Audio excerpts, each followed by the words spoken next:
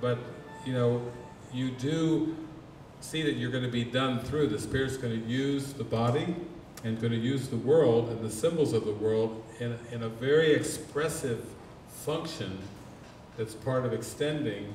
And then at some point, when you really get rinsed with that, then you start to become totally disidentified with the doer.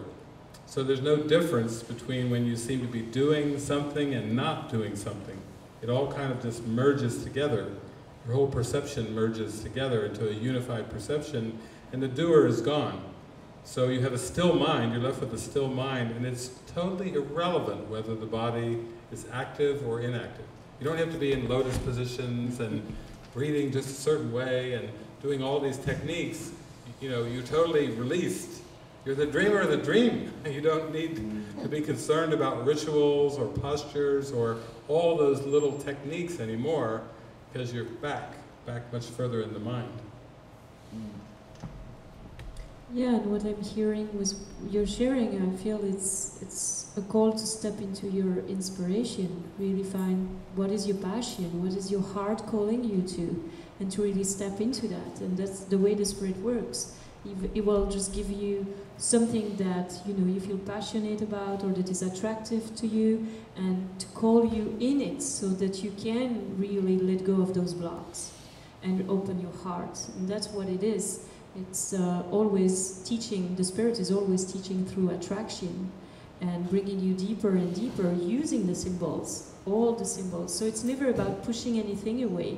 It's not you need, don't do that, don't do that, don't do that, because then you will experience truth. No, allow the path that the Spirit has for you, allow the use of those symbols, uh, allow the use of um, your inspiration or your passion or the things that you feel really good about and allow them to be used in a very uh, helpful way to bring you deeper and deeper in the awareness of who you are.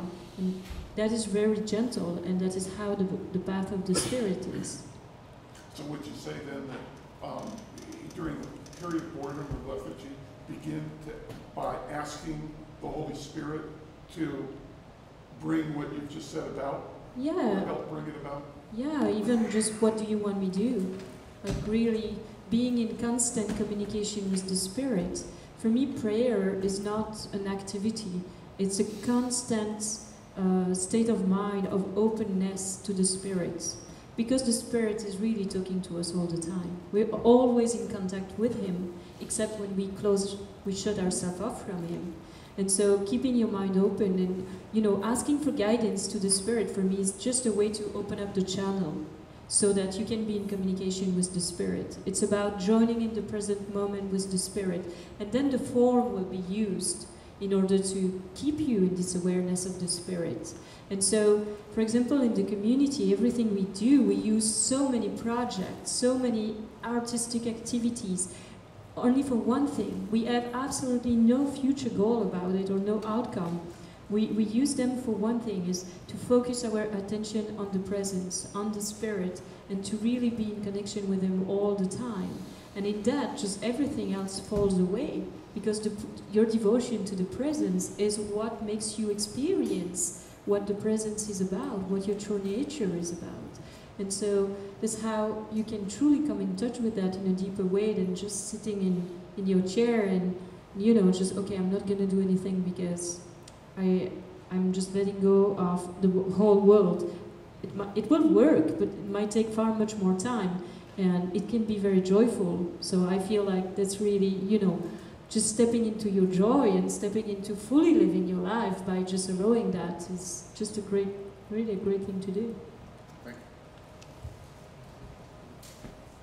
It's huge to, to live, give yourself allowance and permission to live by inspiration instead of fear of consequences. And, and those Course in Miracles workbook lessons are designed to take you right into the heart of the inspiration. Uh, what you use, lesson 50, I think of lesson 50, I am sustained by the love of God. He gets so specific there. You believe you're sustained by everything but love of God, and it's like, okay, here we go, give it to me straight. Pills, money, protected clothing, being liked, knowing the right people, an endless list of nothing that you endow with, with magical meaning, powers. magical powers. So then you get to lesson 76, I'm under no laws but God's, the laws of economics, you know, the laws of medicine, you know, the laws of friendship. Oh, come on. Come on. You mean the laws of friendship or ego? I thought we are supposed to be friendly. And now you're saying the laws of friendship. Well, the laws of reciprocity. You know, the, the laws that what's a good friend, what a good friend should do, and how a good friend should act. You know, it's all past associations. The ego has invented friendship even. Even friendship? Oh, come on. I can see economics. You know, Marxism and capitalism, you know, I can see that only, but friendship. You see, he's being very specific and he's saying, no, the ego even invented its own laws of friendships. And you know that the ego invented it because you can turn from happy to angry with some really close friends. I can't believe a friend would never treat me that way. Aha! We've stumbled upon the laws of friendship, and they're made by the ego, not by God. And yet, when we forgive, when we, when we follow the miracle, we actually become very friendly. But we're not bound by roles and expectations of, of that govern that friendliness. It's just friendliness of the moment, friendliness of being spontaneously sourced by your Creator and experiencing miracles. And that's why when people say, oh, David, you're very kind, you're very friendly, I've got a one-on-one -on -one schedule for Sacramento, and I, I look back at the reference of the, because a woman had written me before, she said, question she wrote to me before was, are spiritual teachers ever mean? this is the kind of questions I get. She said, I have a spiritual teacher and sometimes he's just mean. And uh, can that be from the Spirit? Can the Spirit be mean? And she said, I think sometimes he's really hard on me.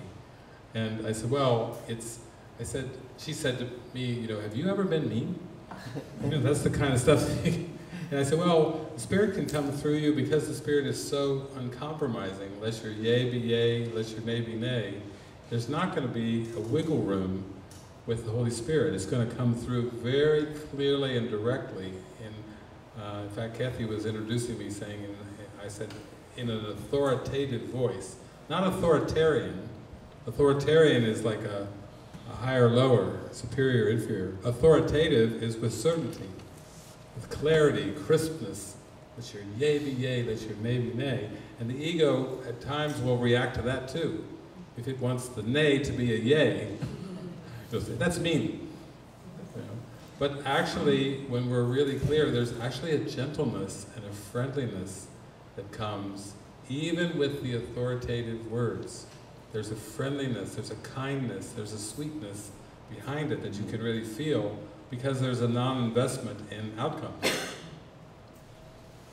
We were talking a little bit about that today because Armel so often has the, the guidance just rips through, rips through, rips through, rips through, and pours through, and then oftentimes there'll be other people that will kind of avoid, delay, not follow the guidance, and then sometimes she'll just smile and she'll say, I told you.